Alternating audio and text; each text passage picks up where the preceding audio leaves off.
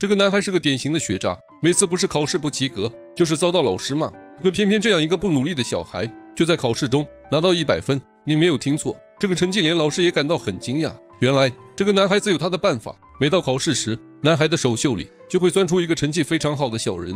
有了小人的帮助，男孩考起试来都非常自信。那么这些小人从哪里来的呢？让我们回到故事的一开始。皮皮鲁和鲁西西是一对双胞胎，两人性格迥异，一静一动。鲁西西是典型的好学生，乖宝宝，上课认真听讲，积极回答问题，常年霸着年级榜第一名的位置，是爸爸妈妈的骄傲。皮皮鲁则恰好相反，他活泼又好动，调皮又贪玩，学习不认真，成绩掉车尾。经常让爸爸妈妈头疼，是典型的皮小孩儿。日子就这样一天天的过着，直到这一晚，五个从罐头里钻出来的小人儿之后，一切都发生了天翻地覆的变化。第一个发现这五位罐头小人儿的是鲁西西，他没有将这件事告诉爸爸妈妈，还为小人们安了一个家，做了一些衣服，还分别起了名字。爱学习、知识渊博的叫博士，有点功夫、胆子也大的叫上尉，热爱绘画、画工还非常不错的叫艺术家，长相甜美、歌声悠扬的叫歌唱家，能说会道。为人有趣而圆滑的叫外交官，五个罐头小人各有所长，他们很快便与鲁西西打成了一片。平日里，鲁西西去上学，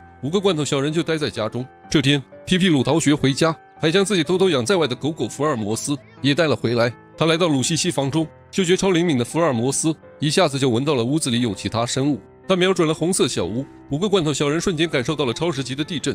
好在尚未急中生智，用针扎伤福尔摩斯，几个人才逃过一劫。与此同时，应该在外工作的妈妈突然回到了家中。如果让妈妈发现福尔摩斯，那皮皮鲁的屁股就得开花。他赶紧跑出来阻止妈妈的进入，但越是这样，妈妈就越怀疑。屋门最终还是被打开了，可屋内却不见福尔摩斯的踪影。皮皮鲁很是惊奇，狗狗还能隐身不成？他到底是怎么逃跑的呢？入夜后，皮皮鲁准备偷偷去寻找福尔摩斯，没想到却意外撞上了正爬窗而出的鲁西西，还看到了几个罐头小人。原来白天福尔摩斯能够顺利逃走，正是因为受到了几个小人儿的帮助。但上尉却因要指挥福尔摩斯而失踪了，小伙伴们担心他的安全，便准备与鲁西西一同外出寻找。皮皮鲁得知事情的经过后，十分感激罐头小人儿，并告诉他们自己知道福尔摩斯和上尉在哪里。经此一事，皮皮鲁也与五个罐头小人儿成为了好朋友。这位男孩正在考试，突然，一个小人博士在他袖口里走出。在博士的帮助下，男孩成功考了满分，也让妈妈同意了他想养狗的愿望。之后，鲁西西又在罐头小人儿的影响下，与班级里学习差的同学成为了好朋友。他发现，其实不管学习好坏，每个人身上都有发光点。只可惜，只看重成绩的学校却不这样认为。为了让学生们更加认真的学习，学校颁布了一项新规定：如果下一次考试分数不超过九十，就不许参加任何课外活动。成绩不好的同学们一听。瞬间懵了。为了能让他们有正常的活动时间，鲁西西与罐头小人儿一合计，决定在考试中帮助他们作弊。考试当天，鲁西西只花了半个小时便完成了所有题目。接下来就该罐头小人儿上场了。他们利用超小的身体、灵活的身手，成功将每一份答案传到了每一个人的手中。只是百密一疏，还是有一份答案不小心掉到了地上。而且他们忽略了一个重要的问题：这么多人的答案一模一样，实在是太明显了啊！老师也不是傻的，于是乎，成绩出来后没过多久，几个人就一起被老师叫了过去。一番盘问之下，鲁西西主动站出来，承担了一切责任。爸爸妈妈也被老师叫到了学校。对于优秀的女儿主动帮同学们作弊这件事，他们十分生气，怎么都想不通这是为了什么。其实这件事无论从哪个角度来说，确实都是不对的。但爸爸妈妈和老师就一点问题都没有了吗？成绩固然有可能成为以后人生的敲门砖，但却不是唯一的那一块儿啊！只重成绩不重其他。甚至还忽略了对孩子们的正确引导，真的是对的吗？再者，父母的一些思想也不应该强加于孩子们的身上啊，更不应该打着为你好的旗号剥削他们应该有的权利。孩子从不是谁的附属品，他们是独立的个体，有独立的思想。父母该做的是合理引导，而不是一刀切的代替决定。你的牺牲固然伟大，但这种伟大不应该成为绑住孩子的枷锁。既然心甘情愿，那就应该用这些牺牲为孩子编织翅膀。上学时。单以成绩来评判孩子的好坏，工作时单以职位高低、工资多少来评判是否成功，很难不让一个正常的人变成急功近利、不择手段、为达目的，甚至可以违背良心的人。就像影片中的告状小女孩，为了超过鲁西西，取代她第一名的位置，不仅三番五次向老师告状，甚至还在发现罐头小人儿后，将他们抓了起来，让其帮助自己作弊。